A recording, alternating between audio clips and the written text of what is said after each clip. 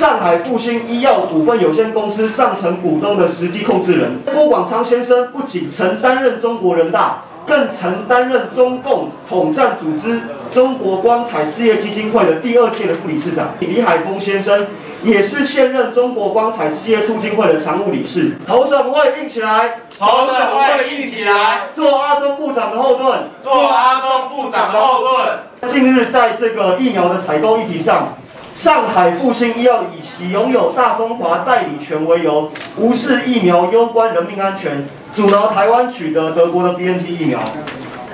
到底谁在阻挡台湾取得这个 BNT 疫苗？上海复星医药是如何取得台湾代理权？这两件事情跟中共统战部两千零九年马政府开放中资来台投资，以及二零一零年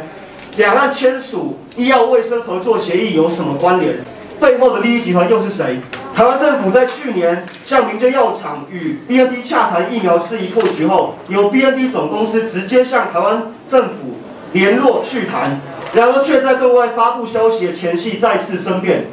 对于这件事情哦，卫福部长陈时中曾经在广播媒体上曾经透露，有人不希望台湾太开心，暗指这个大中华区的代理权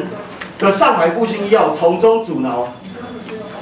这间所谓拥有大中华代理权的上海复兴医药，今年发行了公司债。我们根据上海复兴医药集团这间公司今年，也就是上个月一月发行的公司债的公开说明书记载，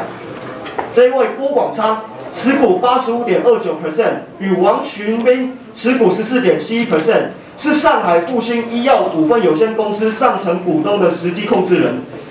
而这位郭广昌先生不仅曾担任中国人大。更曾担任中共统战组织中国光彩事业基金会的第二届的副理事长。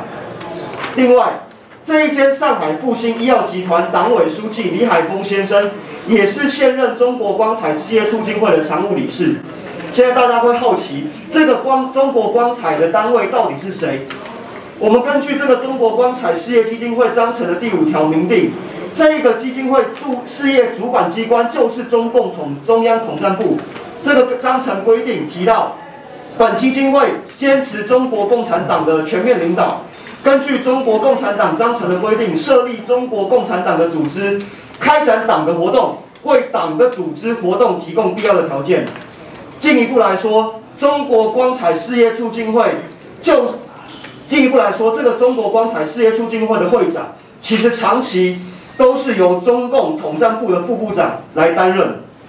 我们了解这样的背景之后，其实就可以大概知道说，为什么当台湾要取得德国的 BNT 疫苗，会有一群人好像不是那么的开心。